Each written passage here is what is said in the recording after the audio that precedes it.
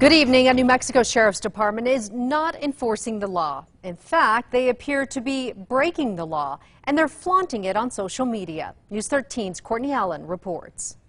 Some deputies in Lea County are dining inside restaurants, a clear violation of the governor's public health order the sheriff's department, they came in and had called us ahead of time to say that they were going to come in. This photo taken today and posted to the sheriff's office Facebook page shows a group of eight deputies eating inside Casey's restaurant in Hobbs without a mask in sight.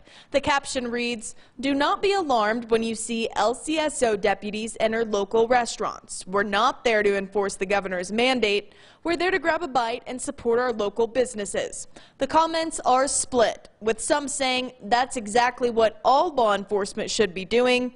Others saying these law enforcement officers are violating rules they should be enforcing. The community is really supportive of us. Casey's spokesperson Katie Manus says they were cited last Wednesday for defying the governor's order and got their food permit suspended Thursday but they're still serving customers inside and not requiring masks, calling any gathering at this location a public protest until further notice. We're not allowed to do dine-in uh, per the per the governor's orders. However, we are protesting the governor's order still, uh, as we've been doing for the past week. The sheriff's office also shared a photo of deputies dining in at Pizza Inn. That restaurant lost its food service permit last week for still letting customers inside, appearing on a national news outlet over the weekend. Uh, do you intend to ride this out as long as you can?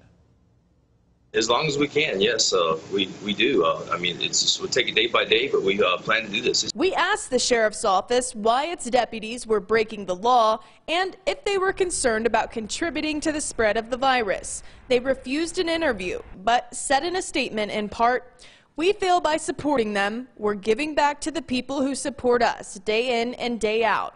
We never want to see a business go under or feel hardships that are beyond their control. Courtney Allen, KRQE, News 13.